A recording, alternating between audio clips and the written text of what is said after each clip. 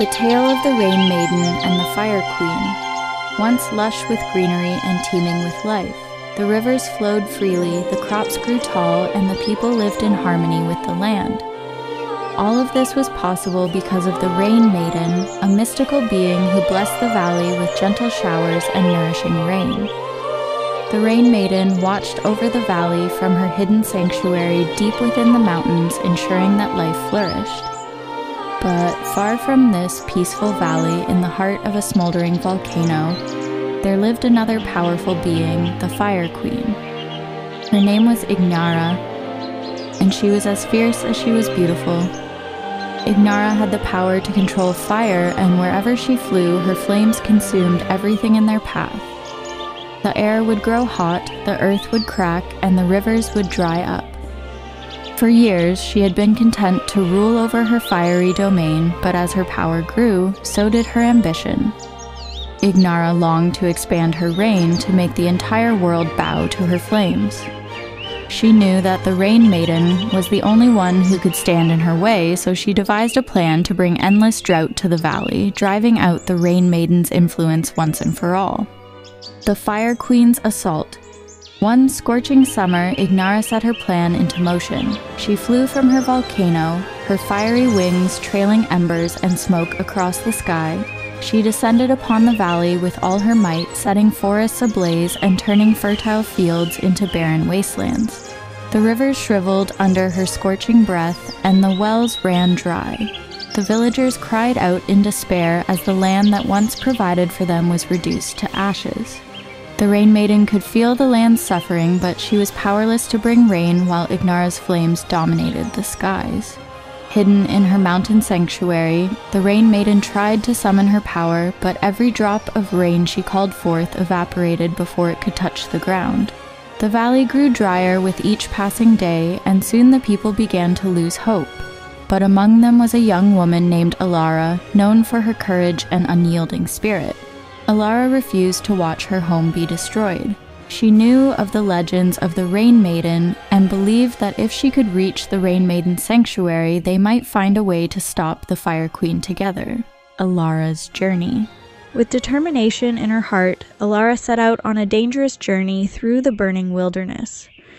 She braved the scorching heat and navigated the charred landscape, guided only by the faint whispers of the wind that led her toward the mountains. Along the way, she encountered the Fire Queen's fiery minions, living flames that sought to block her path.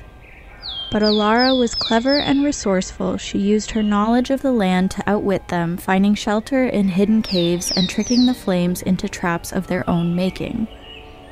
Finally, after many days and nights, Alara reached the entrance of the Rain Maiden's sanctuary. The air inside was cool and refreshing, a stark contrast to the burning world outside. At the heart of the sanctuary, she found the Rain Maiden, her luminous form dimmed by the encroaching drought. Rain Maiden, Alara pleaded, our land is dying. The Fire Queen's flames are consuming everything. We need your help to bring back the rain. The Rain Maiden gazed at Alara with sad, weary eyes. I have tried, but Ignara's power is too strong. My rain cannot quench her flames while she reigns unchecked. Alara, undeterred, said, Then we must face her together. You bring the rain, and I will protect you from her fire. Together we can stop her. Touched by Alara's bravery, the Rain Maiden agreed. With a renewed sense of purpose, she rose from her sanctuary, her form glowing brighter as she summoned the last of her strength. Alara stood beside her, ready to confront the Fire Queen. The Battle of Elements. As the Rain Maiden and Alara emerged from the sanctuary, they found Ignara waiting for them in the sky, her flames burning hotter than ever. So the Rain Maiden finally shows herself, Ignara sneered. But it's too late. The land is mine, and soon nothing will remain but ashes. Not if we have anything to say about it, Alara shouted defiantly. The Rain Maiden began to call forth the rain, summoning storm clouds that darkened the sky. But Ignara would not be defeated so easily. She unleashed a torrent of fire, trying to burn away the clouds before they could gather strength. Alara, determined to protect the Rain Maiden, called upon every ounce of her courage. She found an ancient shield buried in the mountains that was said to be forged by the gods, a shield that could reflect any attack. With the shield in hand, Alara flew into the sky, intercepting Ignara's flames and reflecting them back. The fiery onslaught was intense, but Alara held her ground. As she defended the Rain Maiden, the first drops of rain began to fall, sizzling against the flames but surviving long enough to reach the earth. The battle raged on, the sky filled with fire and water, light and darkness. The Rain Maiden's power grew as more rain began to fall and the land slowly started to cool.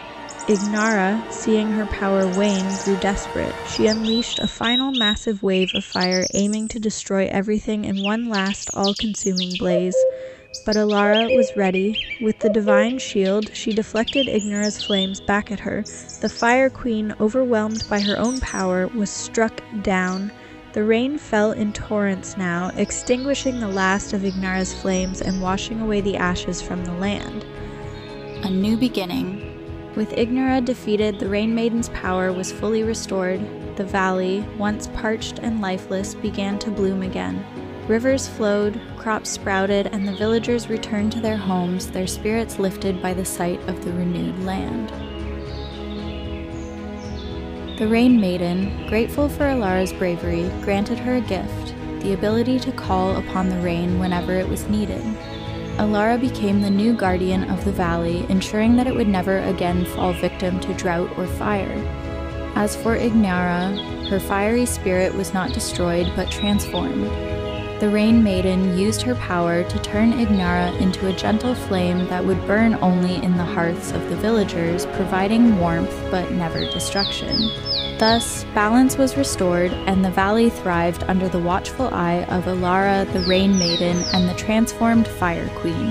And so the land flourished, protected by the harmony of fire and rain, forever guided by the bravery of those who dared to stand against the flames.